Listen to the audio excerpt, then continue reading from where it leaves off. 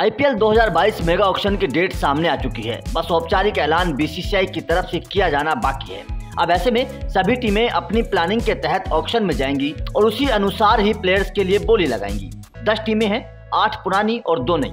आज हम बात करेंगे आईपीएल इतिहास की इस दूसरी सबसे सफल टीम, यानी कि चेन्नई सुपर किंग की। साथ ही बात करेंगे धोनी के उन लकी खिलाड़ियों की, जो धोनी को चैंपियन बनाते हैं। और इस बार के ऑक्शन में धोनी उन खिलाड़ियों को लेने की पूरी कोशिश करेंगे। दरअसल आप लोग जानते हैं कि धोनी अपनी टीम में ज़्यादा बदलाव नहीं करते हैं। इसलिए कहा जाता है कि आईपीएल के इतिहास में सीएसके सबसे कामयाब टीमों में से एक है। लेकिन इस बार मेगा ऑक्शन है और चेन्नई ने पुराने खिलाड़ियों में सिर्फ़ जडेजा, धोनी, ऋतुराज और मोइन अली को अपने साथ रिटेन किया है। इस बार भी धोनी को अगर पिछले सीज़न की तरह टीम को चैंपियन बनाना है तो उन्हें एक काम ज़रूर करना होगा। और वो ये कि पुराने खिलाड़ियों की टीम में वापसी ज़रूर करानी होगी। धोनी को अपने उन लकी खिलाड़ियों को टीम में वापस लाना होगा जो टीम की जीत में अहम योगदान देते आए हैं। तो उस लिस्ट में सबसे पहला नाम है फाफ डुप्लेसिस का।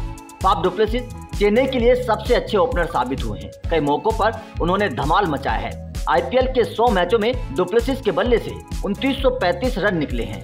दो सौ पैंसठ चौके और छियानवे छक्कों के साथ डुप्लेसिस ने अपने पूरे आईपीएल के करियर में धमाल किया है। चेन्नई को फाफ डुप्लेसिस के साथ ज़रूर जाना चाहिए और धोनी कोशिश करेंगे कि डुप्लेसिस को अपने खेमे में ज़रूर लें। Santner, Mitchell Santner all rounder हैं। टीम के लिए ज़रूरी समय पर बल्ले और गेंद से अपना प्रदर्शन करके दिखाते हैं। हालाँकि आईपीएल का ज़्यादा अनुभव मिचेल सेंटनर को अभी नहीं है, लेकिन जैसे आईपीएल भारत में वापस आ रहा है और चेन्नई की पिच स्पिनर्स के लिए मददगार साबित होती है तो धोनी और चेन्नई इसके बारे में ज़रूर सोच सकते हैं। R Ashwin R Ashwin IPL के मास्टर रहे हैं। कुछ सीजनों पहले वो चेन्नई का अहम हिस्सा हुआ करते थे।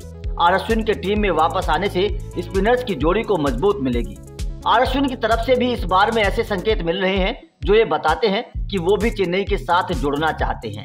आईपीएल के एक सौ सड़सठ मैचों में अश्विन ने 145 विकेट निकाले हैं। साथ ही अश्विन की इकोनॉमी बहुत शानदार है। वो सात से नीचे से रन देते हैं। तो इसीलिए धोनी चाहेंगे कि अश्विन भी इस बार उनके खेमे में ज़रूर आए। चौथा नाम धोनी का सबसे फेवरेट खिलाड़ी है। नाम है दीपक चाहर चेन्नई की टीम को अपनी तेज गेंदबाजी पर भी काम करना होगा। चेन्नई की पिच तो स्पिनर्स की मदद करती है, लेकिन चेन्नई को अपने और मैच बाहर खेलने होंगे। तो स्पिनर्स और तेज गेंदबाजों का संतुलन बनाए रखने के लिए टीम में दीपक चाहर जैसे स्विंग गेंदबाज की बहुत ज़रूरत है खास तौर पर नई गेंद के लिए। आईपीएल की बात करें तो तिरसठ आईपीएल मैचों में दीपक चाहर के नाम उनसठ विकेट है।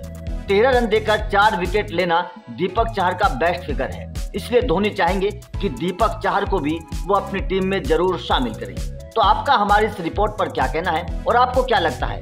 इन खिलाड़ियों में से कौन सा खिलाड़ी चेन्नई सुपर किंग में बड़ी मुश्किल से जाएगा? आपका जो भी मानना है, हमें कमेंट करके ज़रूर बताएँ।